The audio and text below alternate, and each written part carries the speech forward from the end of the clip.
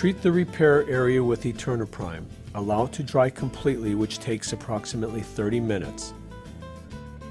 Apply the Eternabond tape of your choice.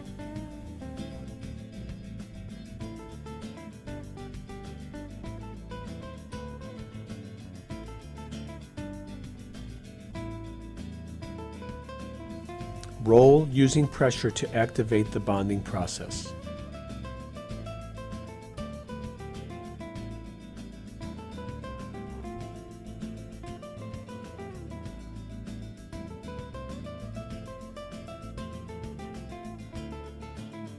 This roofing technician is going to restore the integrity of this seal between the cap sheet roof and the metal edge flashing before damage occurs. He removes the release liner and applies the Eternabond tape of his choice, in this case Roof Seal Black, to the cap sheet mineral surface. He allows the Eternabond to extend 1 to 2 inches over the edge of the roof. He then folds the extra Eternabond down over the vertical portion of the flashing. Rub aggressively using your hand or a steel roller to activate the bonding process. This 30 foot edge restoration was completed in 20 minutes.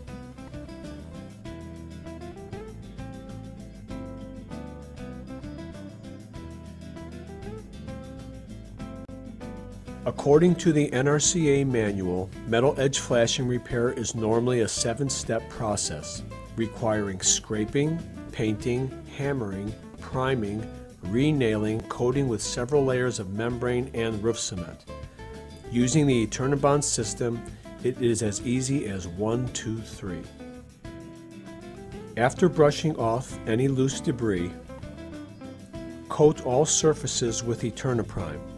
The Eterna-Prime will act as a coalescing agent. Allow the Eterna-Prime to dry completely, which will take about 30 minutes. Install Eternabond web seal on the primed surface, extending 1 to 2 inches beyond the edge of the roof. Fold the extended 1 to 2 inches over the flashing, rubbing the web seal with pressure as you go to activate the bonding process. Coat the Eternabond web seal with the coating of your choice, making sure to seal the edges of the web seal. Eternabond web seal can be used with water-based or solvent-based coating. This repair is complete.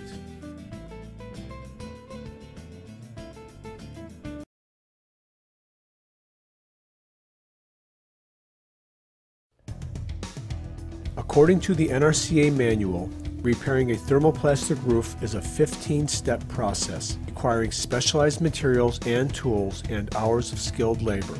Now, because of Eternabond, a skilled mechanic can make the same repair in a matter of minutes using our specialized sealant tape and a few common roofer's tools.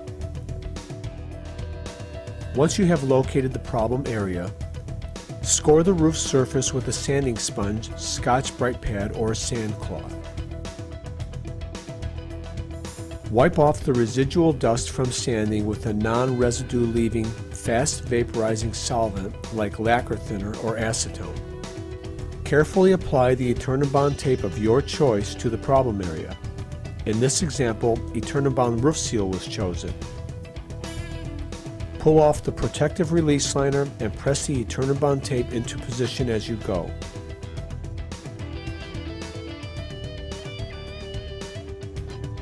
Aggressively roll the applied Eternabond tape with a steel roller to activate the bonding process, paying close attention to the overlaps. This repair was completed in under 15 minutes.